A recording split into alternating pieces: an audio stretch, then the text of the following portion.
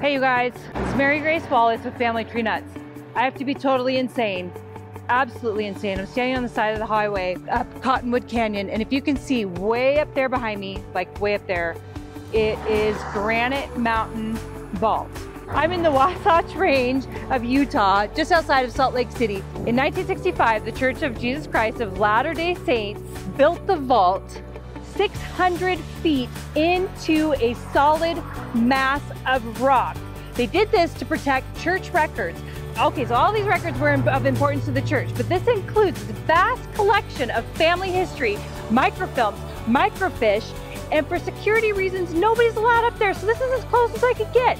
There's an agreement with over a hundred different countries, different churches.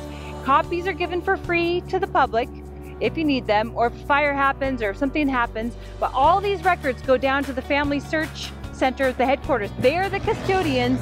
They safeguard all of the records. More than 3.5 billion images in microfilm, microfiche, and digital media are stored up there. So you need a key card to get in. There's a gate. I'll be showing you some pictures, but I couldn't get up there.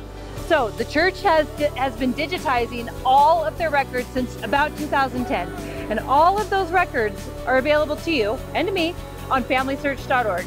Anyway, it was a pleasure to bring this to you. I hope you can see it way up there. It's really cool.